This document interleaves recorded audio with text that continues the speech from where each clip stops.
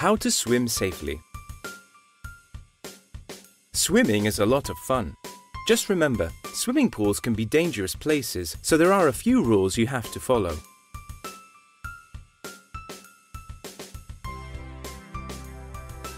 The first safety rule is that no one should run by the pool.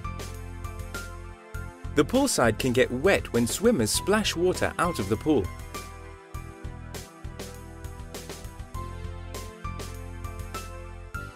That means it is easy to slip and hurt yourself. Before entering the pool, you should always check how deep the pool is. Never dive off the side of the pool where it is too shallow. In some pools, there is no end that is deep enough to dive from.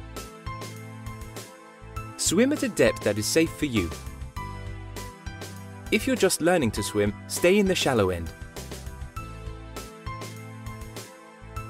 People who can't swim well have to wear a flotation device. That keeps them floating on the surface of the pool. Every swimming pool has got a lifeguard. It is important to listen to their instructions. When you hear a long whistle, you must stop swimming at once.